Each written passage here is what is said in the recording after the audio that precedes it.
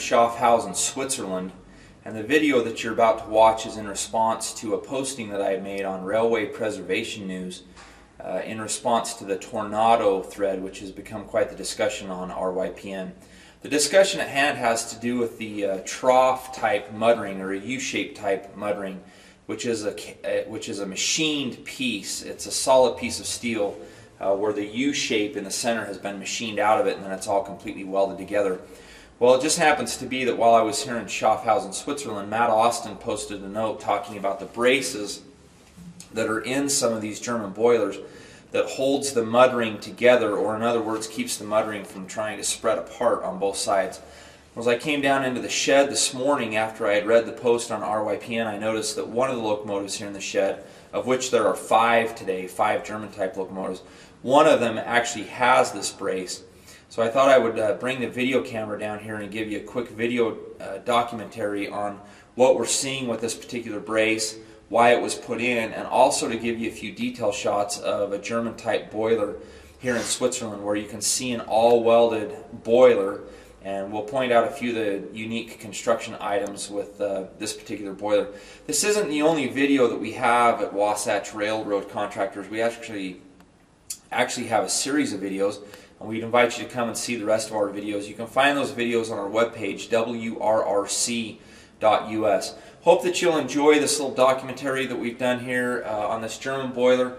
If you have any direct questions for us, please feel free to get back to us, but maybe this will be a new way to, to interact on RYPN, so enjoy. The locomotive that we're in is a German Class 23 locomotive. It's really a unique locomotive. It's got really big drive wheels was made as a fast passenger engine, not hauling a lot of cars, but it, it's really a unique engine. The boiler sits way up above the frame. Uh, it's a very tall looking locomotive the way that the boiler is designed. But this particular locomotive and this boiler were built in 1955 uh, for the DB, for the, for the German Railway. And this boiler is an all welded boiler. In other words, it doesn't have any rivets in it at all. And I'm just going to point out a few of the unique features of this particular boiler. But at this line right here, which this is the weld line, this bottom piece is the machined part of the mud ring, this U-shaped mud ring that's in this. And once the U is machined out of the mud ring, and once the boiler's built, or during the construction process anyway, they bring the mud ring to the to the side sheets and to the wrapper sheet on the outside, and they weld it from the outside in. So this weld was put in from this direction. So the root pass went into the very bottom of the two prepared pieces and then the weld was filled up and the weld was brought out to this point. Um, most likely this weld was put in uh, in the flat position. In other words, the boiler was laid down in a flat position and then the weld was put down in the flat position like this as opposed to being done in position where this weld would have been a horizontal position. One of the unique aspects of an all welded boiler is that typically they do all of the welding or as much of the welding in the flat position as they can. This allows for flux core welding to be used, or uh, excuse me, not flux core, but um, submerged arc welding, uh, where you actually have a layer of flux that's being poured onto the, the weld area, as opposed to a shielding gas or a coated electrode, those types of things. Same is true with the stay bolts. A lot of these stay bolts here, not a lot of them, all of them, are fillet welded stay bolts. And the welds, when the welds were done originally, were done as much as possible in the flat position. So again, they would rotate the boiler uh, to, to make sure that this fit. Now what's interesting about these bolts is that, that uh, these fillet welded stay bolts uh, are a little bit bigger than the stay bolts that we use and there are a lot of different sizes of bolts. You can see just as we go around you can see some smaller ones, you see a couple of bigger ones and you can see that some of the bolts have been changed and others have not. But you can see, uh, just generally, I'm going to give you a picture here. This bolt is about a one inch diameter bolt, but you can see how large the, the fillet weld is. And one of the misconceptions about a fillet welded bolt is that we're trying to put a very small weld in there. They didn't necessarily put small welds in there, it's just that the weld doesn't penetrate all the way through the sheet the weld just sits here on the outside of the sheet, grabbing the bolt and attaching it to the, to the sheet right here.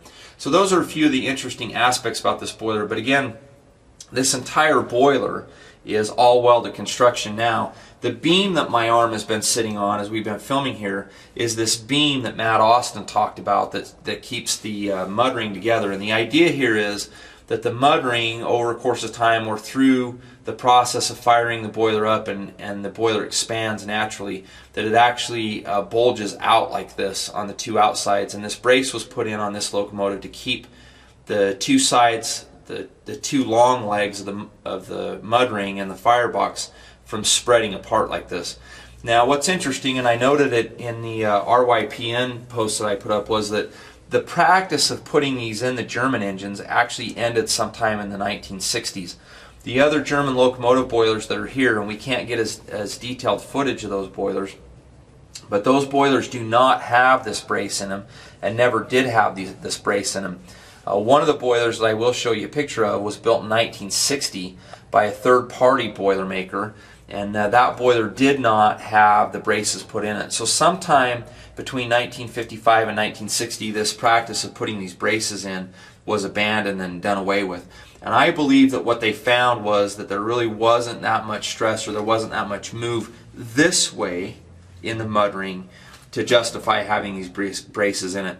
So let's take a deeper look at this brace and I'll show you some interesting things about what's happened to this brace. This particular locomotive was built and designed as a uh, coal burner and it's now being converted to burn diesel fuel as it's uh, going to go to Holland and operate on public excursions during the summer season.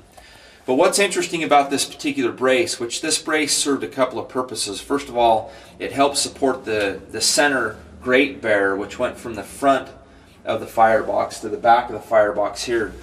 But what's interesting about it is it's full of cracks and these cracks run up and down through this brace this way.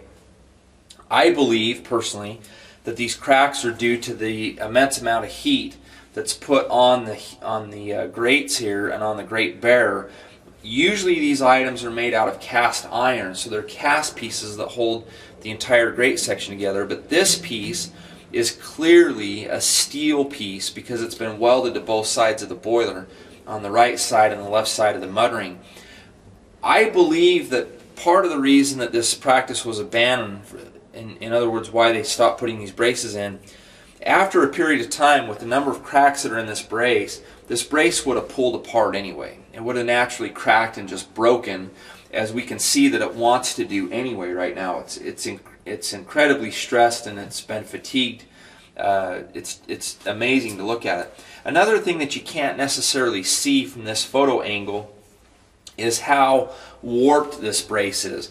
The brace, when originally put in, would have been straight all the way across, but now it waves like this all the way across. And it's not just a single wave, there's a series of waves. In fact, I can count them here from the top. There's three, four, five, maybe six different waves through this brace as it goes through.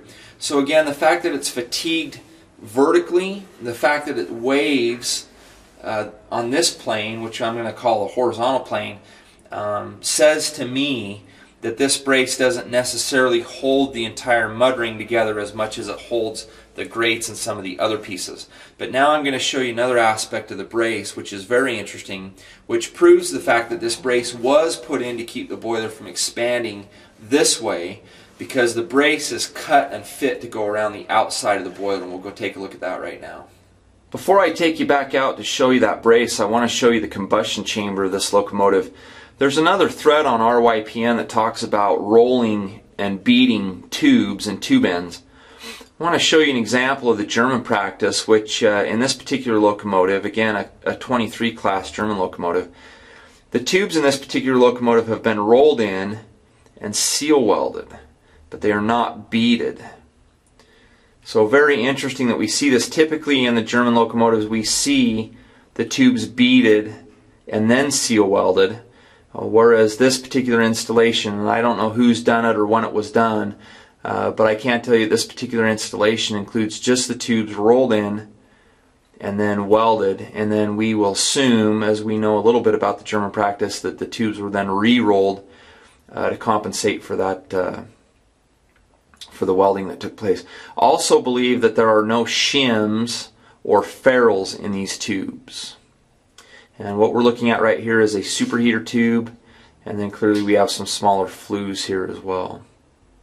One other interesting aspect is we go back to the fillet welding and the fillet welded stay bolts. You can see here on these stay bolts, all of which are fillet welded, you can see the difference in dimensions in all of the bolts. And when I talk about the dimension in this case, I'm talking about how much the bolt sticks out of the sheet or protrudes from the sheet into the firebox.